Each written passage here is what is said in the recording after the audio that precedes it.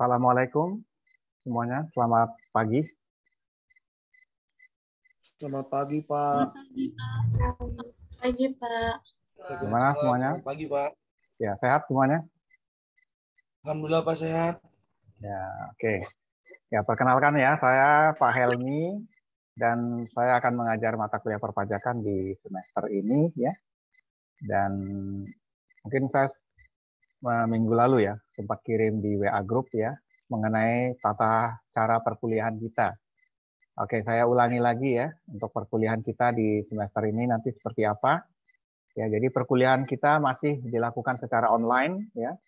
Tetapi untuk kuliah pertama 7 dan 9 dan 13 saya akan melakukan melalui Zoom meeting seperti ini ya.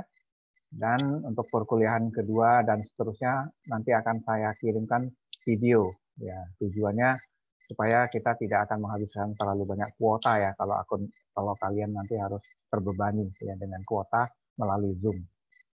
Kemudian video nanti akan saya share melalui akun YouTube saya ya di channel Helmi Ivan TV ya. Kalian sudah uh, beberapa mungkin ada yang sudah subscribe ya. Silakan kalau memang ini di situ nanti ada update-update perkuliahan saya ya. Kalau nanti akan saya mengirimkan video nanti di situ ya dari channel itu. Ya.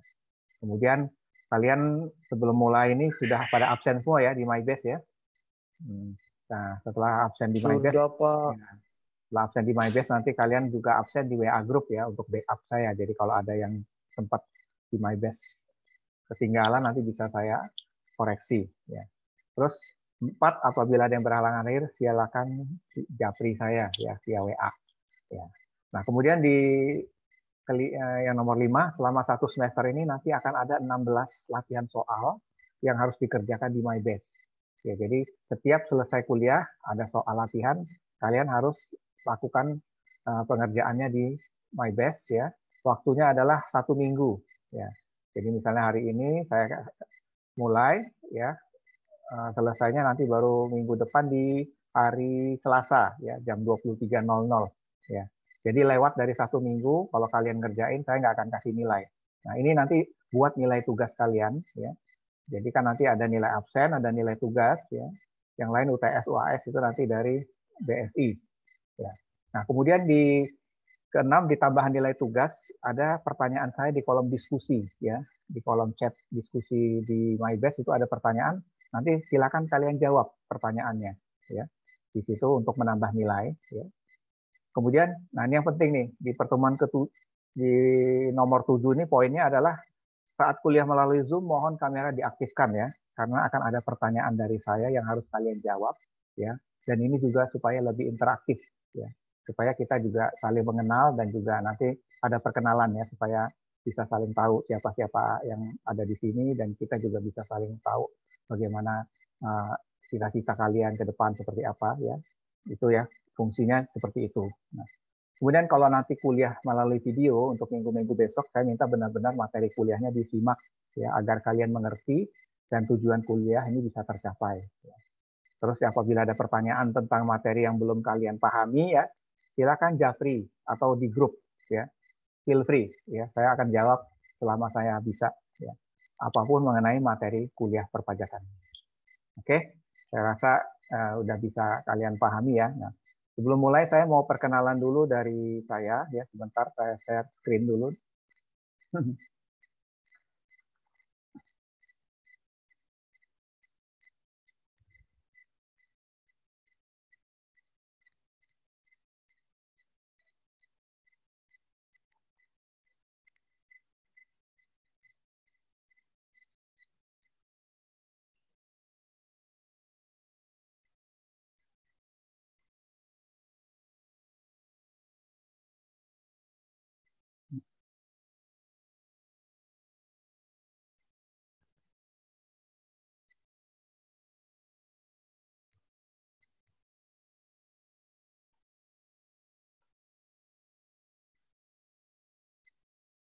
Ntar ini ada kesalahan kesalahan screen.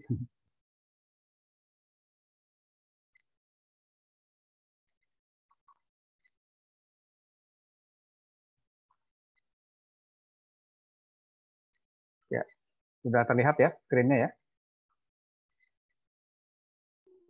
Ya, ini nama saya ya.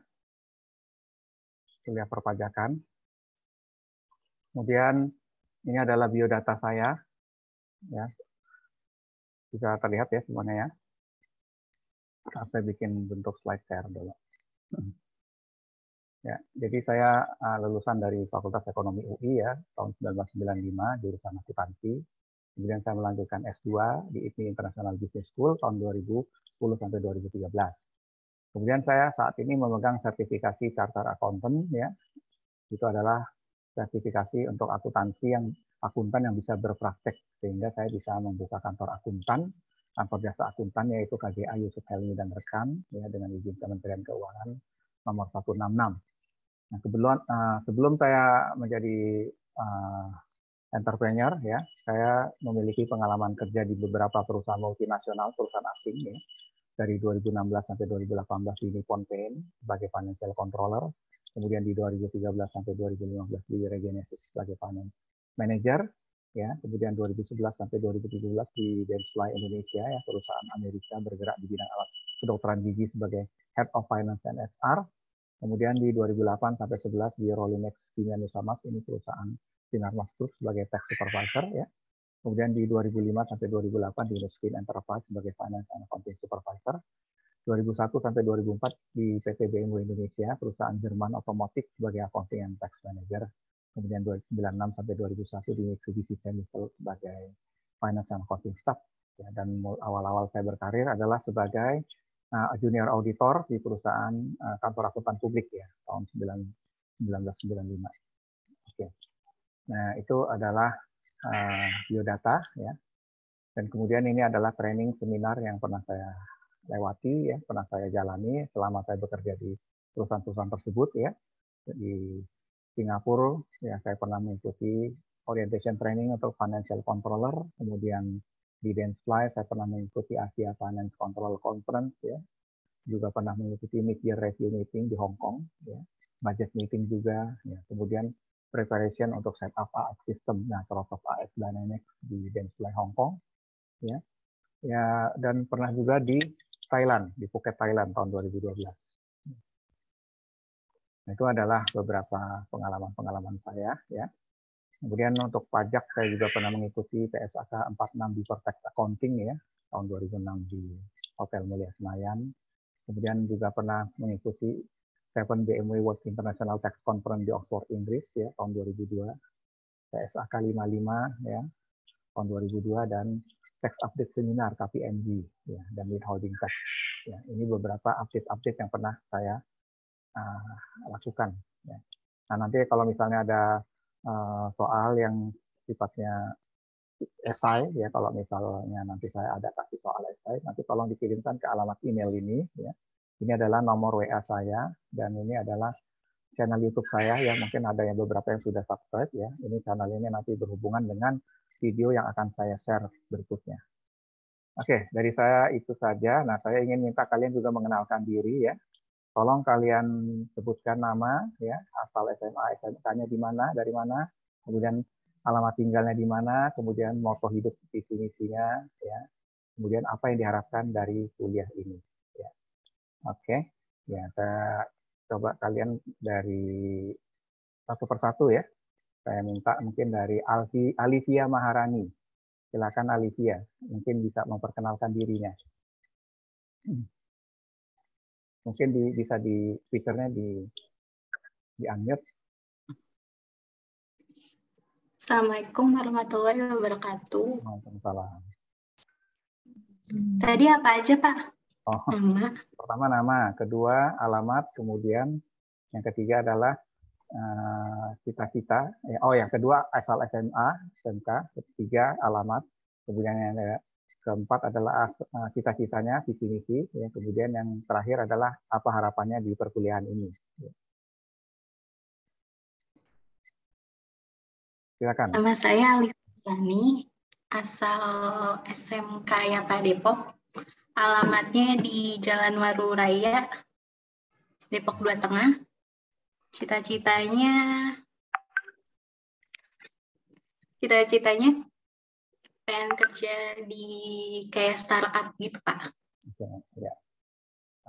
Terus moto hidupnya ya Pak? Ya, ah, bukan ini apa namanya harapannya di perkuliahan ini apa? Harapannya di perkuliahan ini bisa ngerti pajak karena sebelumnya belum pernah sama sekali belajar Oh. pajak. Oke, ya. Baik, makasih Alivia ya. Kemudian Sama. selanjut ya.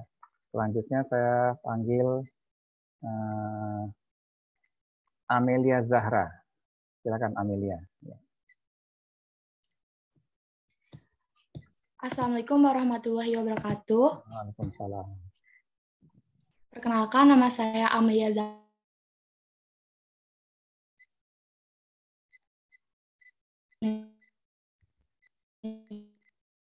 Ya. sekarang dan harapan saya di perkuliahan ini Mhm. eh, berharap dapat mengerti materi khususnya Ya. materi perpajakan dan juga mendapatkan hasil yang dan proses yang baik. Baik. Ya. Coba. Terima kasih ya Amelia. Oke. Coba. Berikutnya saya minta eh, Muhammad Iqbal Ahdan. Silakan Ak- Iqbal, Muhammad Iqbal. Assalamualaikum warahmatullahi wabarakatuh. Waalaikumsalam. Nama saya Muhammad Iqbal Hadan, tinggal di Jalan Jati Raya, Pasar Minggu. Ya. Asal sekolah SMK ya asal sekolah SMK punya Pembangunan Jaya Pasar Minggu.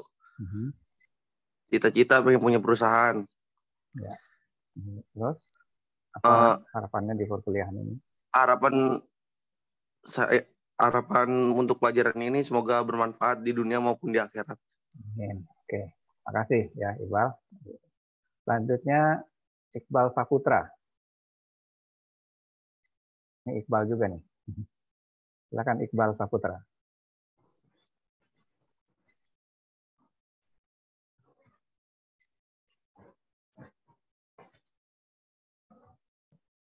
Iqbal suaranya belum terdengar.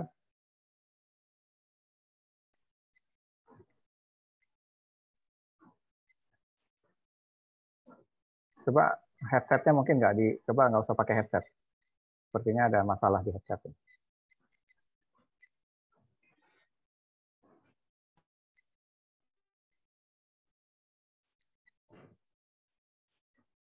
Oh, belum kedengaran suaranya Iqbal. Oke. Sudah Pak, Ah ya silakan ya terus. nama saya Iqbal Saputra, saya dari Cilacap, Jawa Tengah. Mhm. Asal sekolah dari SMK Budi Utomo 2 Gandrumangu, Cilacap. Nah, Eh, yang diharapkan dari perkuliahan Loh, alamatnya di mana nih? Tinggalnya di mana kamu? Alamatnya, alamat tinggal. tinggalnya di Tirta Jaya Sukma Jaya, Pak. Kalau di Depok. Ya. Kemudian ah, cita-citanya Cita-citanya mempunyai perusahaan, Pak. ya bagus.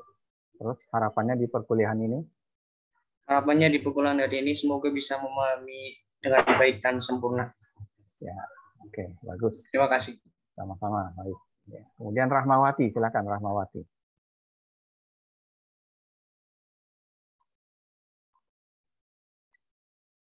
Assalamualaikum. Perkenalkan nama saya Rahmawati, asal sekolah eh alamat ya Pak. Ya al- asal sekolah dulu, Alamat asal saya- sekolah dulu, asal sekolah dulu baru Asal alamat. sekolah dari asal sekolah dari SMK Budi Warman 2 Jakarta. Alamat rumah saya di Cimanggis Depok. Ya. Hidup saya kalau orang lain bisa, saya juga harus bisa. Oke. Harapan dari kuliahan ini semoga bisa memahami materi ini dengan baik. Ya. Udah. Oke, udah. Terima kasih ya. Kemudian saya coba panggil ini yang nggak nyalain video nih. Coba gadis Ga- Gladys Saputri.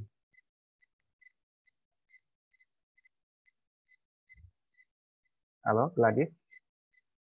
Ini ada nggak orangnya nih?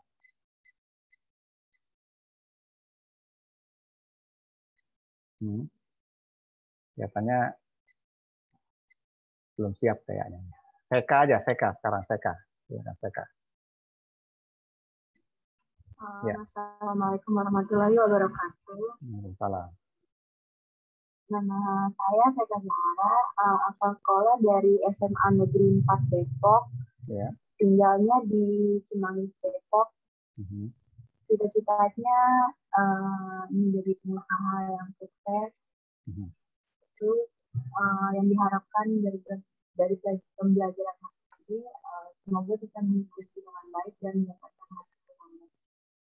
Ya, baik. Terima kasih untuk TK ya.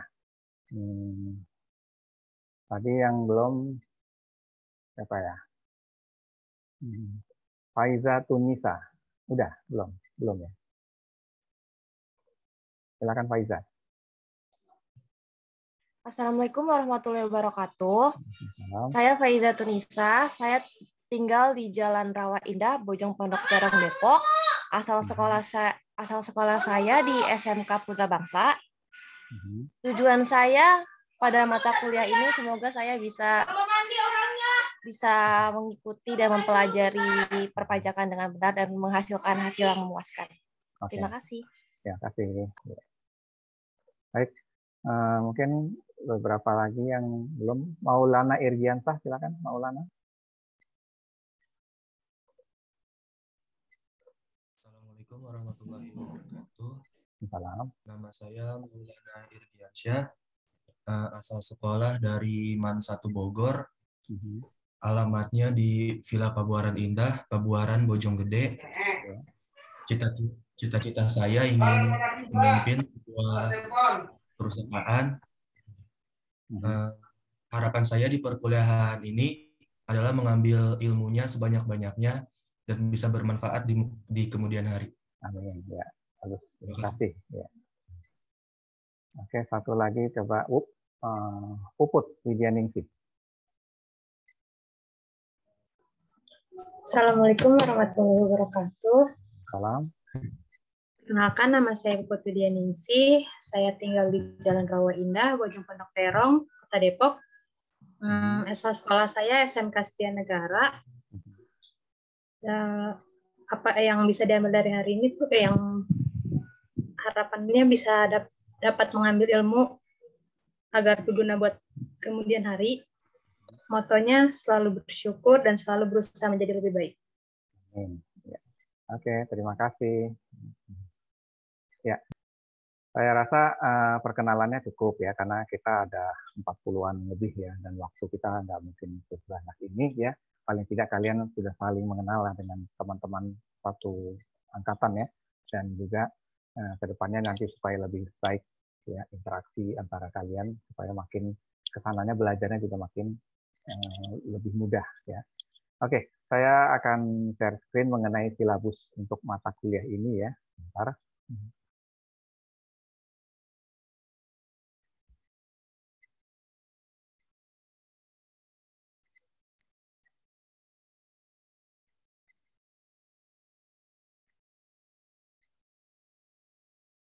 Ya, sudah terlihat ya.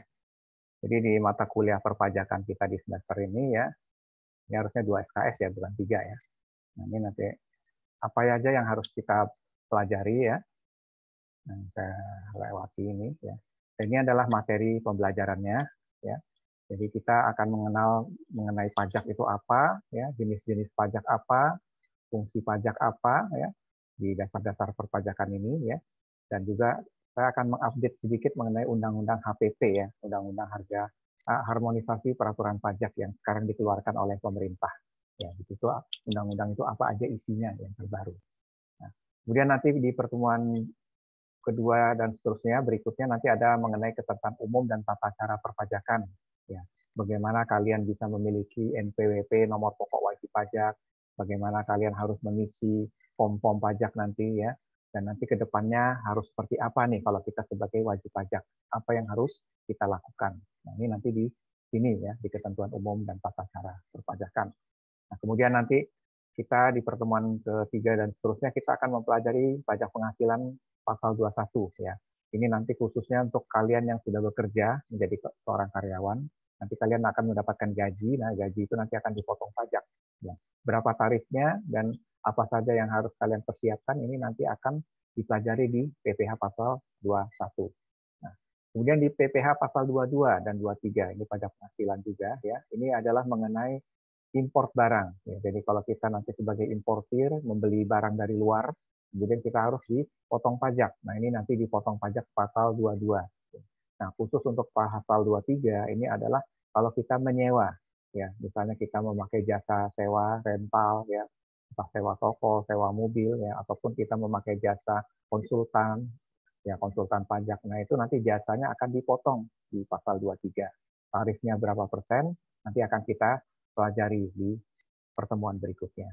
Nah, kalau untuk pertemuan kelima ya ini ada pajak penghasilan pasal 4 ayat 2 ya ini adalah pajak PPh final kita sebut juga. Jadi nanti hubungannya dengan kalau kita menyewakan uh, ruko ya atau tempat tinggal kita ya nah itu nanti ada tarifnya berapa persen ya 10 persen ya nah itu nanti harus disetor ke negara sebesar itu ya.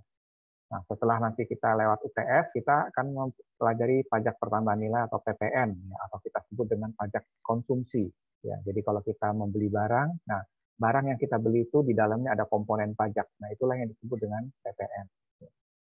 Nah, setelah itu nanti baru kita akan mempelajari pajak daerah ya di mana kita tempat bertempat tinggal ya misalnya kita di provinsi Jawa Barat saat ini dan kemudian kita ada di kota Madya Bogor Depok atau Bogor nah itu ada pajaknya itu yang disebut dengan pajak daerah pun kita akan mempelajari berikutnya adalah pajak bumi dan bangunan atau PBB ya. Kita memiliki tanah, kita memiliki rumah. Nah, nanti di situ kita harus menyetor pajak ya sebagai warga negara yang baik.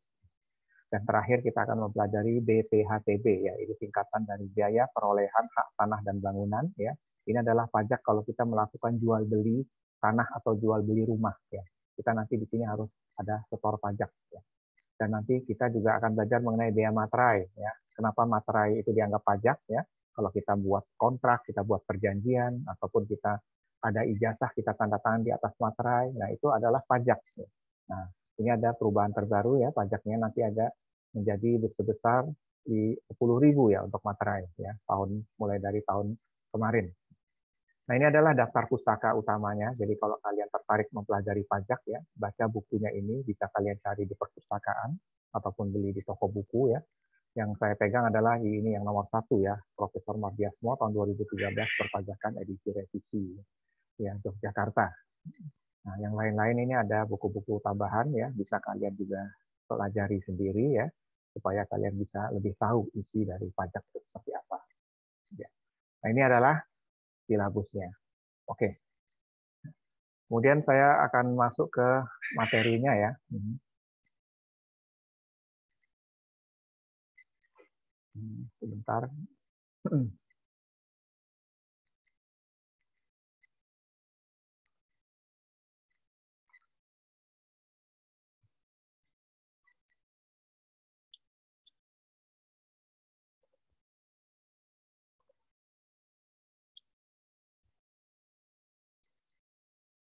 Hmm.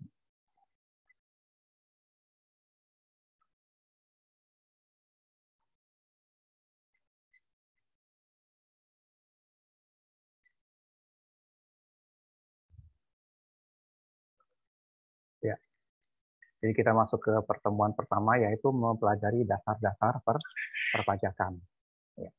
Nah, jadi uh, untuk mengetahui apa itu pajak dan kenapa kita harus belajar pajak ya, ini ada hubungannya nanti dengan yang namanya APBN. Ya.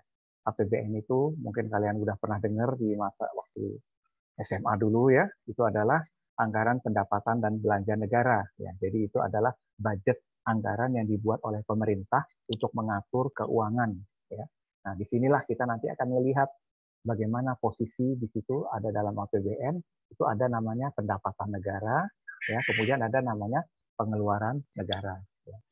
Nah, kemudian kalau kita lihat sebenarnya dari sisi penerimaan dari pajak itu seperti apa di negara kita ini.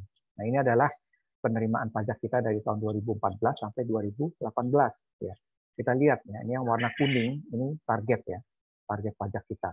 Jadi dari tahun 2014 kita targetnya 1,072 triliun. Ya, kemudian naik tahun 2015 1,24 triliun. Ya, 2016 naik lagi menjadi 1,355 triliun. kemudian di 2017 1,283 triliun, kemudian 2018 1,424 triliun. Jadi dia kecenderungannya naik terus ya target kita. Nah, tapi kalau kita lihat yang warna biru ini realisasi ya, ya aktualnya, bagaimana kenyataannya? Kenyataannya selalu di bawah, ya, tidak pernah mencapai target. Ya. Misalnya di tahun 2014 ya, kita targetnya 1,072 triliun, tapi kita hanya memperoleh 985 miliar. Ya. Begitupun di 2015, targetnya sekian 1,24, kita hanya mendapatkan 1,06 ya triliun. Nah, berarti apa? Di sini ada kecenderungan bahwa setiap tahun kalau kita mentargetkan pajak itu nggak pernah tercapai hasil yang maksimal. Nah, ini yang yang menyebabkan apa namanya APBN kita itu selalu defisit ya sehingga kita selalu harus mencari pinjaman ya. nah ini kita lihat di sini. Ini adalah gambaran APBN kita tahun 2022 ya.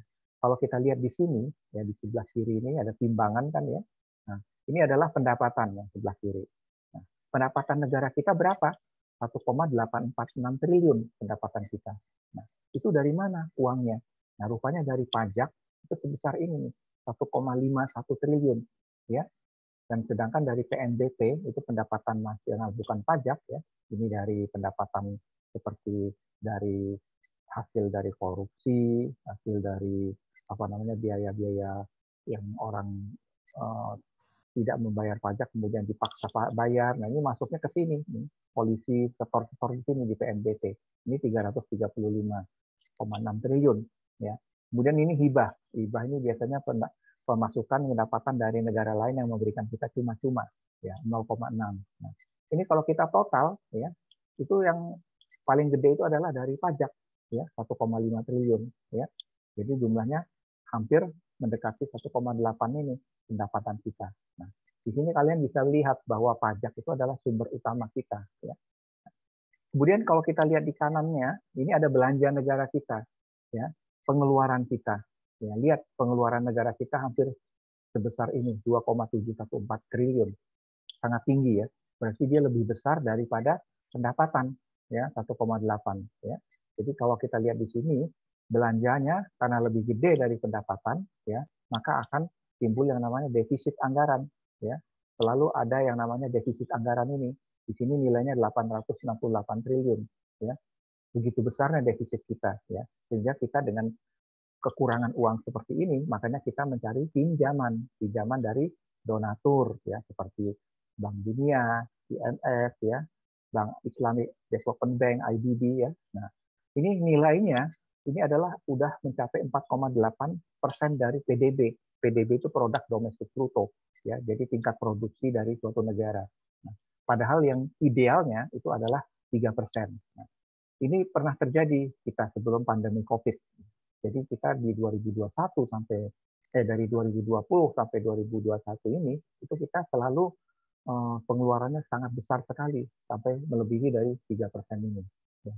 Ini karena ada apa namanya biaya-biaya yang tidak terduga ya seperti kita harus mengatasi COVID dengan cara membeli vaksin ya kemudian harus menyediakan fasilitas rumah sakit ya untuk penderita COVID. Nah, itulah yang menyebabkan defisit pembiayaan kita selalu terlalu besar sampai 4,8 ini. Nah, ini harus ditekan nih karena di 2003 ke depan nanti paling tidak COVID sudah nggak ada dan kita harus kembali ke semula on the track kita ya.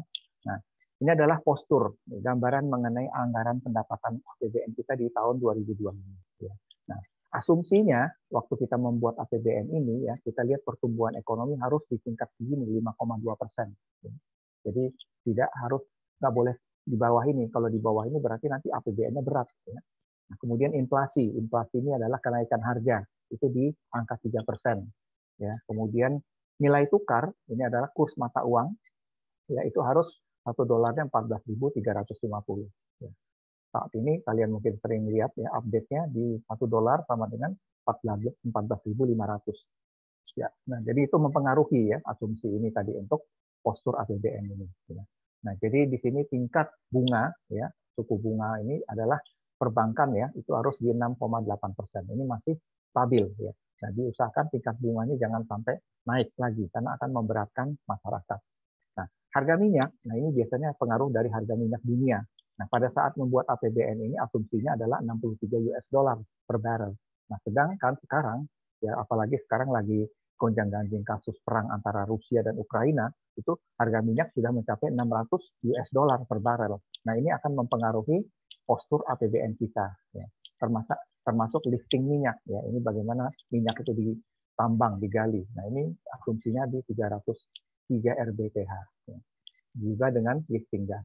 Nah, ini adalah bagaimana kita melihat APBN kita saat ini ya sasaran dan indikator pembangunan ya itu artinya targetnya ya misalnya tingkat pengangguran itu harus di angka 5,5 sampai 6,3 persen, lima setengah sampai 6,3. Jangan lebih dari ini kalau bisa diturunkan karena akan kasihan dengan uh, apa namanya adik-adik kita yang sudah lulus dan mereka tidak bisa bekerja ya. Jadi tingkat pengangguran harus ditekan ya.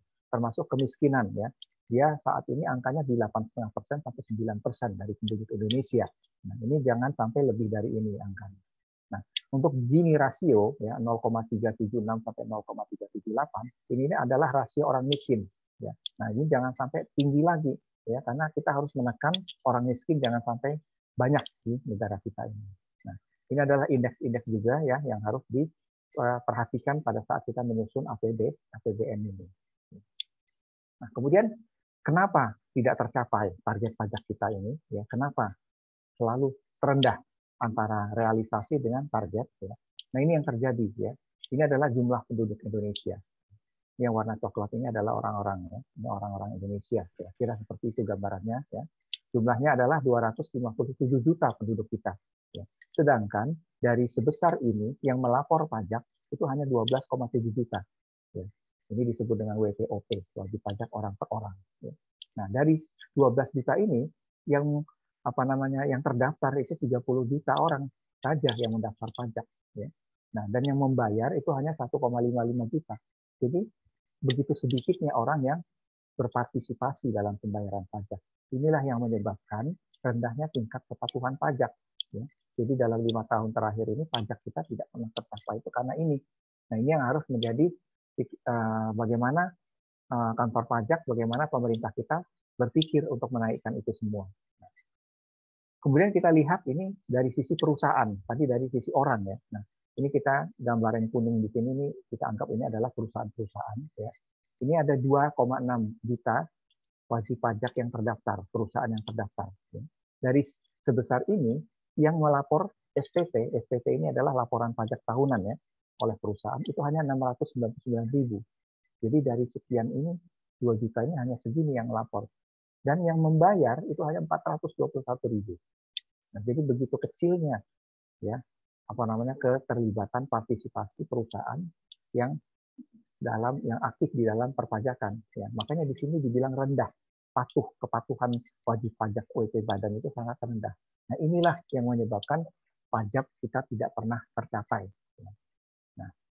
ada lagi ya nah, hal-hal yang lain adalah kalau kita lihat di sini ya dari orang pajak yang patuh ya kita lihat di tahun 2016 itu target kita kan tinggi ya sampai 1,35 triliun ya. Nah, ini hanya dari 2 juta saja yang bayar pajak. Bayangan bayangkan dengan hanya 2 juta kita sudah mendapatkan pajak sebesar ini. Apalagi kalau dia bisa ditambah lagi orangnya pasti bisa lebih potensinya. Nah jadi ini yang harus di apa namanya menjadi PR dari pemerintah kita bahwa kita itu kurang bisa uh, masyarakat kita terutamanya itu belum memiliki uh, feeling bahwa mereka itu memiliki kewajiban ya untuk membayar pajak. Nah, sekarang saya ada pertanyaan ya. Jadi ada istilah namanya free rider. Ya, di sini kalian bisa lihat ya ada orang yang dibonceng naik sepeda, dia bersiul-siul dan ini mereka sangat orang yang lain ini bekerja mengayuh sepeda dengan kencang dan dengan berusaha sungguh-sungguh. Nah, kemudian apa yang terjadi ya? Nah, saya ingin tanya ya dari kalian ya, mungkin kalian bisa jawab ya. Saya tanya Puput, Puput Widyaningsih. Silakan Puput.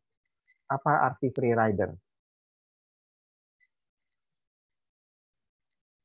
Kurang tahu, Pak. Kurang. Coba temannya ada yang bisa, silakan dibantu.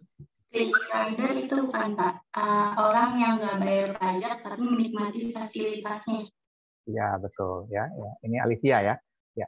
Jadi yang dimaksud free rider di sini adalah betul yang kata Alicia tadi bahwa ada orang-orang yang dia tenang-tenang aja ya, terus dia tidak mau bekerja keras ya, tapi dia mendapatkan fasilitas itu ya. Jadi dia istilahnya penumpang gelap kalau kita singkat di sini free rider ini. Jadi dia hanya menikmati tapi tidak pernah mau bayar. Ini kalau bayar pajak seperti itu ya. Nah, jadi kalau kita lihat di sini ya, jadi free rider itu adalah menikmati tanpa berkontribusi ya. Jadi kan seharusnya ya kita sebagai wajib pajak itu harusnya membayar pajak ya itu masuklah ke ke kas negara di sini. Nah, uang ini nanti masuk ke APBN ya APBN yang tadi saya jelaskan ya anggaran pendapatan belanja negara.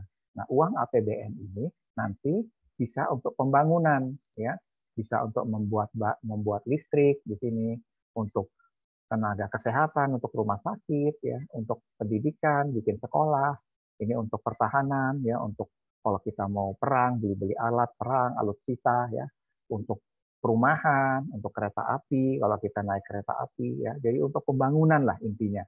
Nah, fasilitas-fasilitas ini itu dinikmati oleh si free rider ini, ya. Jadi orang ini dia enak aja dia menikmati itu semua. Dia pakai jalan tol, terus dia pakai listrik juga. Nah, tapi dia tidak pernah mau bayar pajak, ya. Nah, akibatnya apa? Ya, jadi itu tadi ini yang menyebabkan pajak kita selalu di bawah, ya, jadi bawah target, ya. Nah, makanya kita harus menghindari ini, ya, orang-orang yang seperti ini, ya, gitu. Kemudian karena target yang tidak tercapai, tarif eh, apa namanya rendah terus hasil dari pajak itu, maka pemerintah sekarang mengeluarkan undang-undang namanya HPP yang disebut dengan harmonisasi peraturan pajak. Nah, undang-undang ini mungkin kalian sudah pernah dengar ya. Ada yang menyebutnya omnibus law ya. Jadi dia bersamaan dengan undang-undang tenaga kerja yang kemarin sempat heboh gitu ya. Nah, di undang-undang reformasi ini jadi terjadi banyak perubahan nanti yang akan terjadi. Ya biasanya kan kalau orang yang membayar pajak ataupun melapor pajak, mereka harus memiliki NPWP, nomor pokok wajib pajak. Nah, setelah dirubah sama pemerintah, patokannya bukan dari NPWP, tapi nanti dari NIK KTP. Ya, jadi setiap orang yang memiliki KTP ada nomor induk kependudukan, itu nanti namanya langsung sebagai orang yang harus memiliki kewajiban membayar pajak. Ya. Jadi di sini diperluas basis pajaknya. Makanya di undang-undang ini nanti basis pajaknya makin kuat ya. Nanti ujung-ujungnya konsumsi nanti tumbuh kemudian pendapatan per kapita juga nanti makin tinggi. Nah, dengan adanya basisnya yang kuat orang semua harus bayar pajak nanti di sini APBN-nya itu nanti bisa sehat ya. Jadi APBN tadi ya anggaran pendapatannya jadi bisa banyak penerimaan. Penerimaan negara nanti makin banyak ya. Kemudian di situ kalau penerimaan banyak kita nanti nggak perlu perlu banyak utang kan jadi rasio utangnya juga terjaga. Nah, ujung-ujungnya nanti pertumbuhan ekonominya jadi tinggi. Kenapa? Karena kalau misalnya semuanya bisa bagus, ya pasti nanti banyak investor yang datang ke negara kita. Kemudian mereka berinvestasi, dia menciptakan lapangan kerja, kemudian orang juga akhirnya tidak banyak yang menganggur.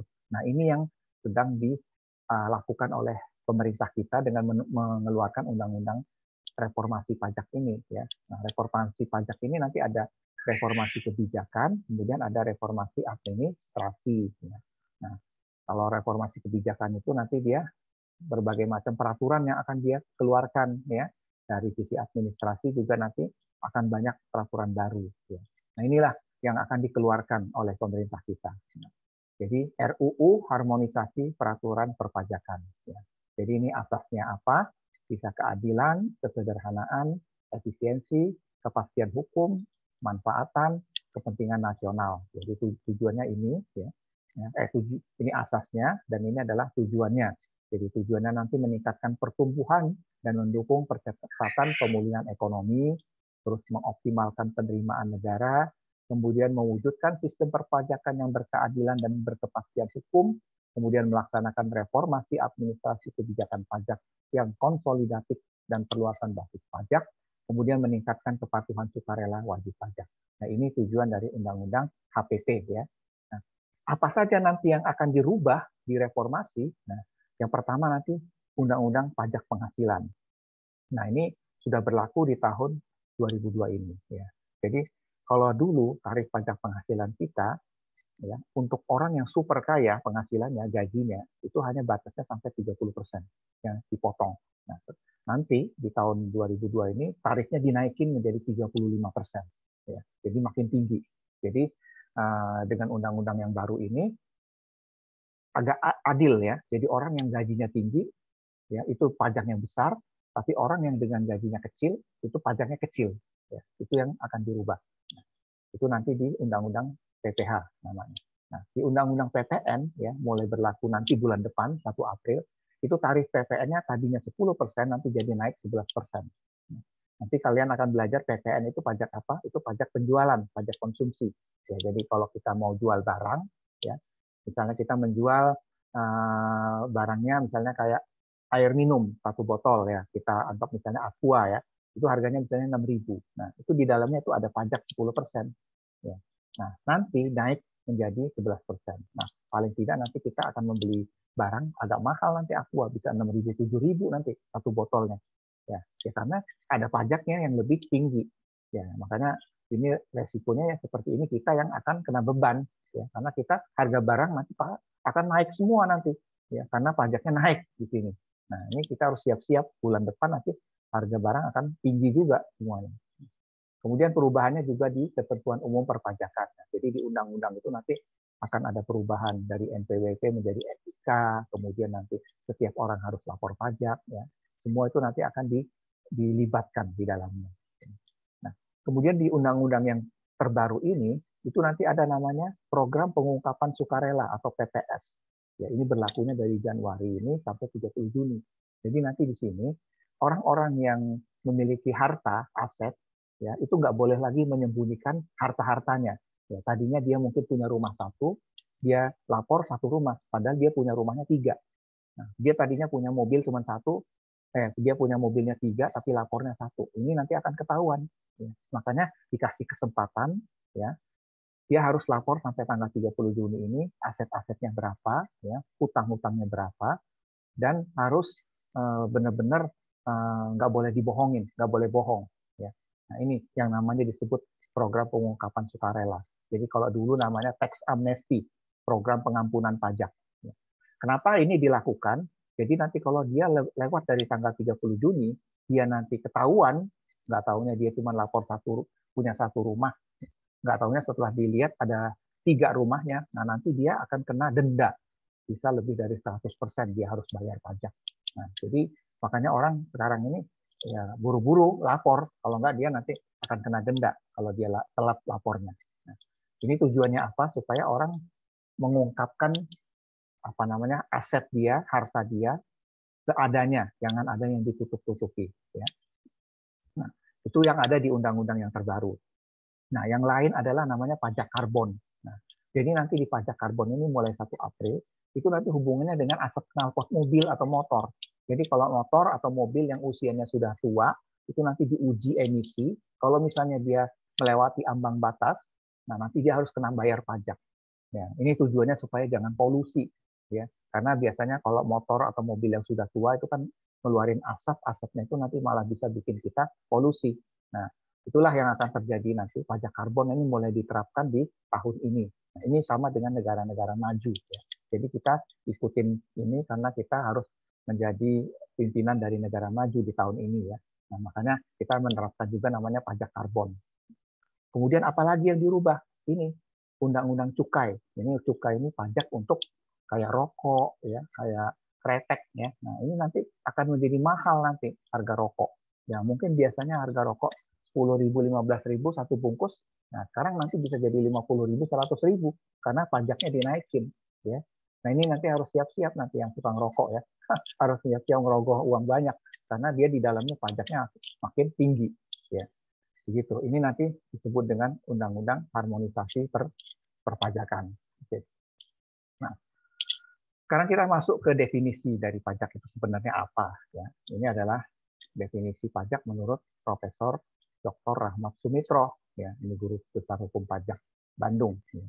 Jadi pajak itu adalah iuran rakyat kepada kas negara berdasarkan undang-undang dapat dipaksakan dengan tidak mendapat jasa timbal langsung yang dapat ditunjuk. Jadi maksudnya pajak itu sebenarnya sama dengan iuran. Cuma iurannya itu dipaksa, ya. Kalau kamu nggak bayar, kamu kena dan ini dihukum gitu. Nah, jadi definisinya, jadi iuran yang dipaksakan, tapi kita nggak dapat apa-apa dengan kita bayar iuran itu. Dapatnya nanti, ya, setelah beberapa bulan ke depan atau setelah beberapa tahun ke depan, ya. Jadi itu ya definisi pajak ya. Kalau menurut undang-undangnya definisi pajak apa? Sama. Jadi kontribusi pajak adalah kontribusi wajib kepada negara yang terutang oleh orang-orang pribadi atau badan yang sifatnya memaksa berdasarkan undang-undang dengan tidak mendapatkan imbalan secara langsung. Tapi dia dipergunakan untuk sebesar-besarnya kemakmuran rakyat. Ya, jadi di sini undang-undang mengatakan pajak itu sama dengan iuran yang dipaksa ya tapi maksanya berdasarkan undang-undang ya tapi kita nanti nggak dapat imbalan apa-apa cuman imbalannya itu nanti akan kita dapatkan setelah kita nanti mendapatkan fasilitasnya dan kita menjadi makmur ya. itu ya definisi pajak ya. Kalau kita lihat unsur-unsur pajak itu apa aja ya di situ ada iuran ada pungutan ya kemudian ada kata-kata undang-undang ya jadi di sini kalau pajak itu datangnya dari wajib pajak maka disebut iuran tapi kalau datangnya dari uh, kegiatan untuk mewujudkan pajak itu dari pemerintah, maka pajak itu disebut pungutan. Ya. Jadi seperti itu ya. Nah, pajak itu dipungut berdasarkan undang-undang. Jadi karena ada undang-undang yang dibuat oleh DPR ya yang menyetujui bahwa pajak itu boleh dipungut ya. Jadi di sini ada di pasal 23 UUD 45. Nah, kemudian pajak dapat dipaksakan. Nah, ini kenapa?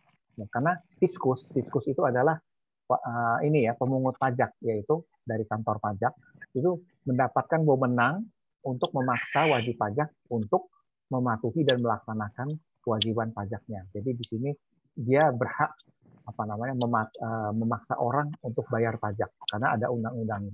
Nah, kalau misalnya dia nggak bayar nanti ada surat paksa. Ya. Kalau dia misalnya surat paksa juga nggak bayar, dia bisa di, dibawa paksa di penjara. Ya, itu punya haknya uh, uh, wajib uh, haknya fiskus tadi ya kantor pajak. Nah, kemudian pajak itu unsurnya dia tidak mendapatkan kontraprestasi. Maksudnya kita nggak ada imbalan apa-apa. Jadi cirinya pajak tadi kita bayar tapi kita tidak ada jasa timbalnya dari dari pemerintah. Ya, tapi nanti pemerintah akan membuat jalan, membuat listrik dan sebagainya. Ya, Kemudian pajak juga untuk membiayai pengeluaran umum pemerintah ya seperti jalan, rumah sakit ya. Jadi gunanya itu nanti adalah seperti itu ya. Nah, ini adalah perbedaan pajak, retribusi dan sumbangan ya. Jadi kalau pajak itu nanti dia apa manfaatnya? Jadi manfaatnya itu tidak langsung bagi pembayar. Ya. Tapi kalau retribusi itu manfaatnya langsung. Ya. Ini contohnya mungkin seperti distribusi parkir ya. Jadi kalau kita parkir motor kita, kan kita nanti dikasih tiket parkir kan. Nah tiket parkir itu nanti kita bayar. Nah itu yang disebut dengan retribusi ya. Jadi manfaatnya ke pembayar. Nah, apa dengan bedanya dengan sumbangan? Ya, sumbangan itu seperti donasi, kotak amal ya.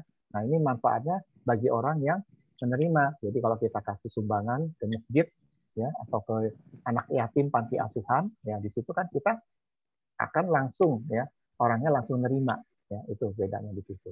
Nah, terus kalau di pajak itu penerimaan manfaatnya nggak diketahui jadi orang yang kita kasih itu nggak tahu karena kita nyetornya ke negara ya tapi kalau di retribusi yang menerima siapa kalau kita bayar parkir pasti tukang parkirnya kan retribusi itu nah itu bedanya di situ nah kalau sumbangan kita nyumbang ke masjid ya yang nerima pasti tahu kan kita pasti yang menerima orang masjid ya gitu.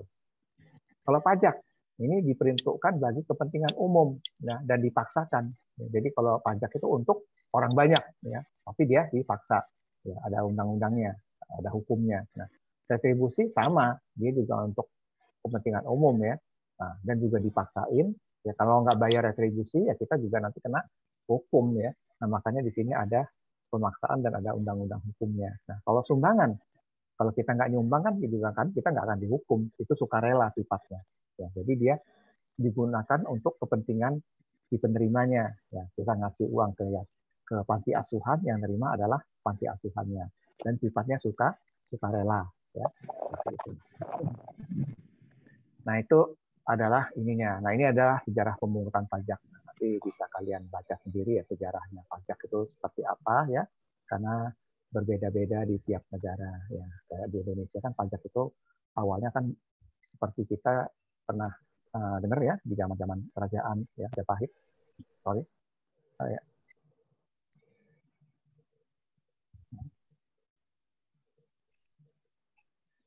putus ya? Halo maaf tadi terputus ya halo masih masih terdengar suara saya?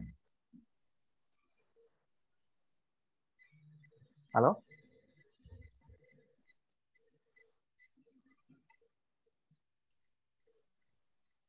Hmm. Suara saya masih terdengar?